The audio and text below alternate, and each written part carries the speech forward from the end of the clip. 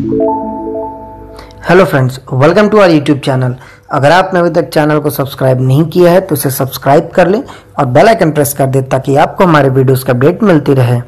तो चलिए शुरू करते हैं इसी के साथ। आज का अपना वीडियो तो हमारा वीडियो है जी एस पेपर 101 और आज का हमारा पहला क्वेश्चन है Natuna Island, sometimes seen in the news, was uh, is located in which of the following region जो नतुला आइलैंड है नतूना तो काफ़ी चर्चाओं में रहा इस समय तो आपको बताना है कहाँ मतलब ये आइलैंड पाया जाता है। तो उसका सही आंसर है बी साउथ चाइना सी यानी कि साउथ चाइना सी में इसको पाया जाता है। तो चलिए इसी के साथ अगले क्वेश्चन क्वेश्चन नंबर टू की तरफ़ बढ़ते हैं। Aarogya Setu, a mobile app developed in public private partnership to bring the people of India together in a resolute fight against COVID-19, was launched recently by आरोग्य सेतु जैसा आप app app इस app के बारे में आप लोगों को पता होगा तो आपको बताने किस मिनिस्ट्री ने इसको शुरू किया है।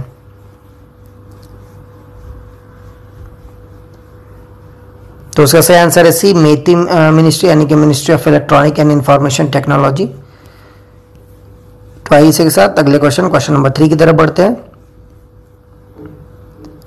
Consider the following statement with respect to the high court high court के संदर्भ में दो स्टेटमेंट है, आपको बताना है कौन सा सही है।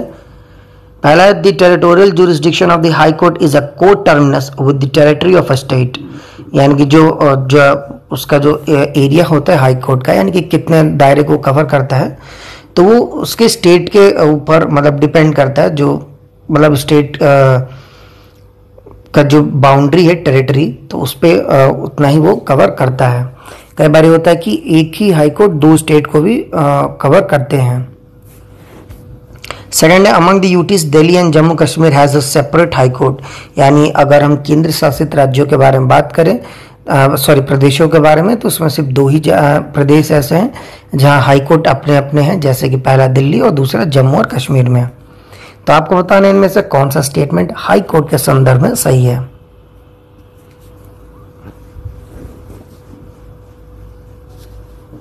तो इसका सही आंसर है ए वन ओनली सेकेंड वाला गलत है। आ, जो कॉन्स्टिट्यूशन ऑफ़ इंडिया है इसमें हाई कोर्ट हर स्टेट के लिए प्रोवाइड किया गया है।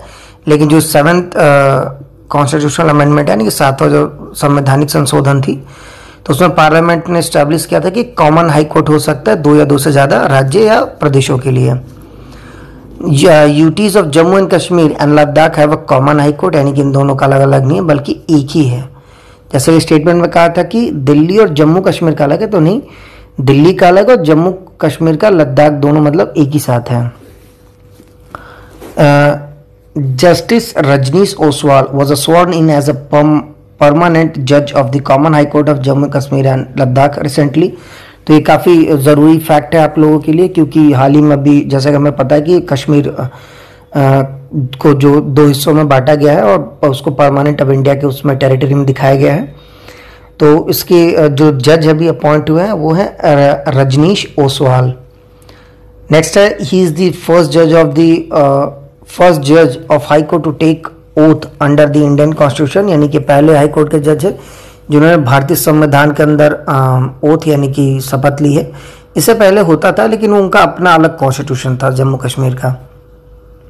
जो लास्ट एक्सप्लेनेशन में वो ये है कि ऑल द प्रीवियस जजेस of high court had taken oath under the constitution of Jammu and Kashmir जैसे कि मैंने बताया कि जम्मू कश्मीर का अपना अलग संविधान था तो उनके अकॉर्डिंग शपथ लेते थे। बट अभी जब से जब इस जब से वो इंडिया का एकदम इंटरनल इंटीग्रल पार्ट हो गया तो तब से ये अब वो भारत के संविधान के मतलब जो मौजूद है शपथ वो लेंगे। तो चलिए इसी के साथ अगले क्वेश्चन की तरफ़ बढ़ते हैं। Question number four standard in India portal was launch recently by एक पोर्टल लॉन्च हुआ स्टैंडर्ड इन इंडिया तो आपको बताना है किसने लॉन्च किया कौन से मिनिस्ट्री ने?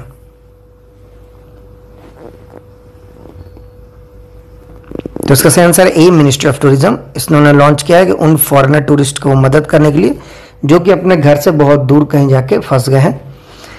The portal consist of information around COVID nineteen helpline number and call centre that foreign tourist can reach out for help और इन्फॉर्मेशन तो तो एक ये तरह से पोर्टल है जिसमें एक कोविड नाइन्टीन जो कोरोना वायरस चल रहा है तो इसके रिगार्डिंग हेल्पलाइन नंबर एक कॉल सेंटर भी शुरू किया गया ताकि वो अपने ज़रूरत के हिसाब से मदद ले सके। तो चलिए इसी के साथ अगले क्वेश्चन में बढ़ते हैं। Question number five consider the following statement with respect to the counter cycle capital buffer CCYB के कंटेक्स्ट में तीन स्टेटमेंट है। आपको बताना है कौन सा सही है। पहले CCYB is the capital to to be kept by a bank to meet business cycle related risk यानी कि ऐसा कैपिटल इसको बैंक खुद ही अपने पास रखता है। ताकि वो अपने बिज़नेस साइकिल में, जो जब उसका व्यापार होता है तो उसमें किसी तरीके का रिस्क अगर हो तो उसको पूरा कर सके। दूसरा it is aim to protect the banking sector against the losses from changes in the economic conditions like recession यानी कि इसका जो मुख्य उद्देश्य है, वो बैंकिंग सेक्टर को, जो भी उनके लॉसेज होते हैं, जो भी उनके नुकसान होते हैं रिसेशन के समय में खासकर तो उनको पूरा करने के लिए इनका मुख्य उद्देश्य है। तीसरा it is an important theme of the Basel three norms यानी कि बेस थ्री नॉर्म जो हमने अपनाया था बेजल थ्री स्विट्जरलैंड का था तो उसका एक ये बहुत ही महत्वपूर्ण थीम है, यानी कि उद्देश्य है। तो आपको बताना है, इनमें से कौन सा स्टेटमेंट सही है?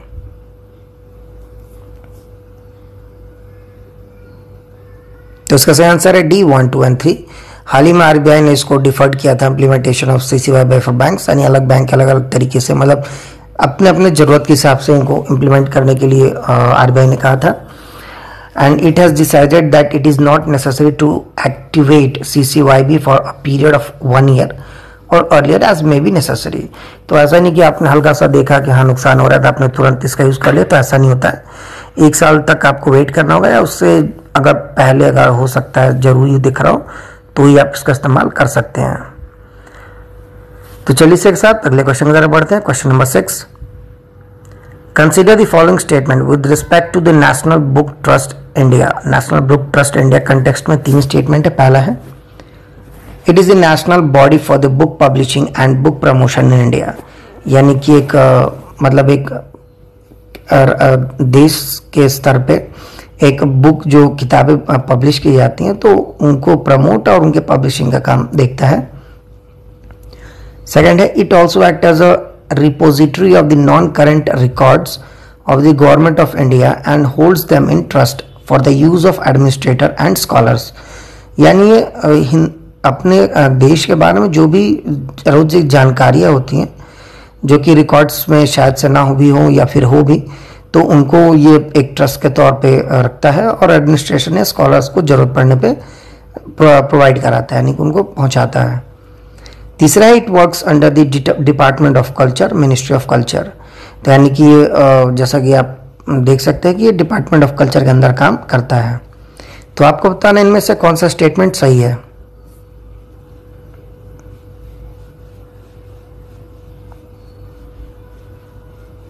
तो इसका सही आंसर है A one only national book trust है इंडिया का. This is the national body for booking for book publishing and book promotion जैसा कि पहला स्टेटमेंट सही था. और national archive of India is a repository of non current record तो national book trust India इसका रिकॉर्ड वाला नहीं है बल्कि कि नेशनल आर्चिव करके है. वो इसके uh, जो रिकॉर्ड्स होती हैं उनको रिकॉर्ड करता है और एडमिनिस्ट्रेशन एडमिनिस्ट्रेटर या फिर किसी भी तरीके के स्कॉलर्स को ज़रूरत पड़ती है, उनको प्रोवाइड कराता है।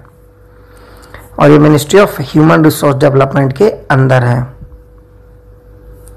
तो चलिए इसी के साथ अगले क्वेश्चन की तरफ़ बढ़ते हैं। Which of the following is not true regarding cytokines cytokines के संदर्भ में कौन सा स्टेटमेंट सही नहीं है, आपको बताना है।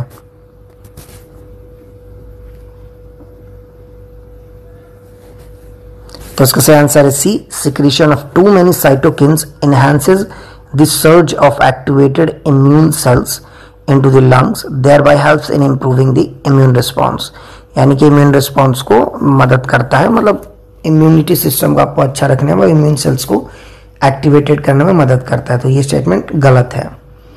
A subset of the infected patient develop severe COVID-19 because of an overreaction of their immune system. Which triggers what is known as C S S तो एक जैसा कि इसमें दे रहा है कि इन्फेक्टेड पेशेंट्स होती हैं, जो तो मतलब ज़्यादा जो क्या बोलते हैं सीरियस पेशेंट जो होते हैं आपके कोरोना वायरस के तो उनमें ये इम्यून सिस्टम एक तरीके का रिएक्शन होता है और वो ट्रिगर कर देता है सीएसएस को। यानी कि साइटोकिन स्ट्रॉम सिंड्रोम तो चलिए इसी के साथ अगले क्वेश्चन की तरफ़ बढ़ते हैं। Question number eight consider the following statement with respect to the red flag exercise red flag flag exercise के कंटेक्स्ट में दो स्टेटमेंट है, आपको बताना है कौन सा सही है। पहला है it is a series of Pacific air forces sponsored field training exercises for US and its partner nation forces यानी कि एक पैसिफिक एयरफोर्स ट्रेनिंग है, जिसमें यूएस और उनके जो भी पार्टनर नेशन है, उनके बीच होना है। सेकेंड है India has participated in every edition of this biennial exercise since its first participation in 2008 यानी कि इंडिया इसके हर एडिशन में, यानी कि 2008 से जब पहली बार पार्टिसिपेशन हुआ था, तब से लेके आज तक जब हर दो साल पे होता है, क्योंकि बाइनियल एक्सरसाइज है तो दो साल पे होगा तो हर दो साल पे इसको पार्टिसिपेट करता है। तो आपको बताना इनमें से कौन सा स्टेटमेंट रेड फ्लैग एक्सरसाइज के कंटेक्स्ट में सही है।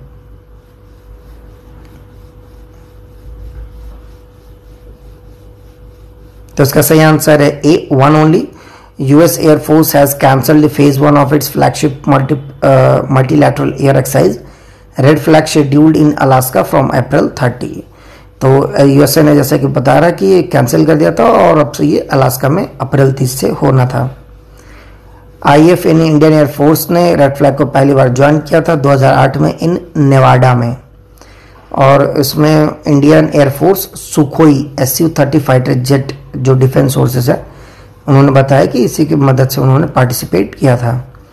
It is set that I F would not take a part in every edition of the biennial exercise because of the high cost involve तो यानी कि जैसा कि बता रहा है कि एयरफोर्स हर एडिशन में पार्टिसिपेट नहीं करता क्योंकि इसमें बहुत ज़्यादा खर्चा होता है। तो चलिए इसी के साथ अगले क्वेश्चन की तरफ़ बढ़ते हैं। Question number nine consider the following pair match the following दे रखा है, यानी कि सुमेल दे रखा है आपके दो, एक तरफ़ प्रोजेक्ट और एक तरफ़ पर्पज आपको बताना कौन सा सही है। पहला है the ISEC development of indigenous ventilator prototype ISEC एक तरीके का इंडिजीनियस यानी कि खुद का वेंटिलेटर प्रोटोटाइप यानी कि उसका मॉडल बनाने का था। सेकेंड है प्राणा development of a border road in the state of Arunachal Pradesh यानी कि एक ऐसा प्रोजेक्ट है जिसमें अरुणाचल प्रदेश में रोड बनाने का काम होना था। तो आपको बताना इनमें से कौन से सुमेल यानी कि मैचेस सही हैं?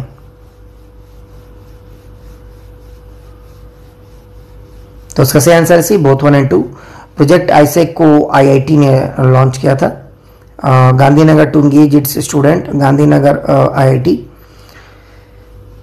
ताकि वो critical skills while they are confined to their home because of corona virus ताकि वो अपने जो स्किल्स है उसको यूज़ करके इस तरीके की चीज़ें कर सके। तो चलिए इसी के साथ अगले क्वेश्चन की तरफ़ बढ़ते हैं। हमारा आज का last question question number ten article 324 of the Indian constitution deals with which of the following यानी कि 324 जो हमारे संविधान में आर्टिकल है, किस चीज़ से डील करता है, यानी क्या उसमें मौजूद है, आपको बताना है?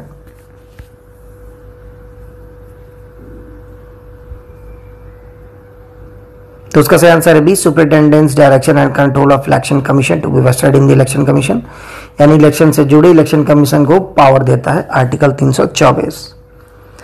in the view of covid 19 situation election commission of India invoking its power under the article 324 of the Indian constitution read with hundred and fifty three of the representation of peoples act 1951 has further extended the period of Rajya Sabha elections beyond the prescribed term of 18 seats across the seven state.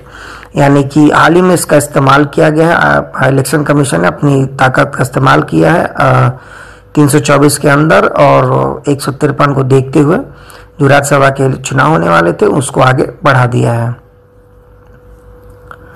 तो friends इसी के साथ आज का हमारा video खत्म होता है जाने से पहले हम आपको जो हमारा लास्ट वीडियो था यानी कि जीएस टेस्ट पेपर 100 तो उसका क्वेश्चन ऑफ़ द डे जो था उसका आपको आंसर बता देते हैं। तो हमारा क्वेश्चन ऑफ़ द डे था द हेडक्वार्टर ऑफ़ यूएनईपी यानी कि United Nation Environment Programme is located at आपको बताना था कहाँ स्थित है। तो इसका सही आंसर है सी नैरोबी केन्या में। तो चलिए इसी के साथ जाने से पहले हम आपको हमारा नहीं आज का जीएस टेस्ट पेपर 101 का क्वेश्चन ऑफ़ द डे दे, दे देते हैं। तो आज का हमारा क्वेश्चन ऑफ़ द डे है which of the following country has recently launch the Long March 58 carrier rocket किस देश ने हाल ही में एक Long March fifty eight carrier rocket launch किया है, आपको बताना है? आपके option A China B North Korea C Russia या डी ईरान तो फ्रेंड्स इसी के साथ आज का हमारा वीडियो खत्म होता है। जाने से पहले अगर आपको हमारा वीडियो अच्छा लगा हो तो इसे लाइक करें शेयर करें और हमारे चैनल को ज़रूर सब्सक्राइब करें। साथ ही आप हमें नीचे कमेंट बॉक्स में हमारे क्वेश्चन ऑफ़ द डे का आंसर ज़रूर दें। तब तक के लिए thank you for watching and bye